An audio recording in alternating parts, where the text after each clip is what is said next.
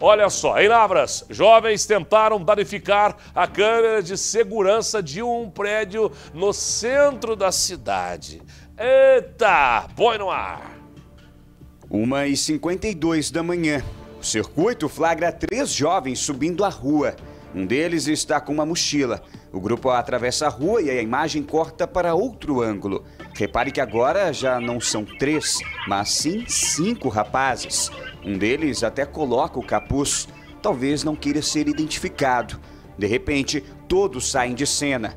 O silêncio predomina.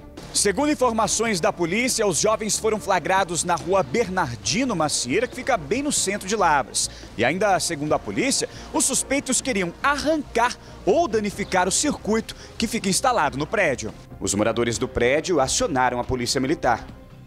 É, aí acionaram a polícia militar, a polícia vai atrás, a polícia prende e se for menor não acontece nada.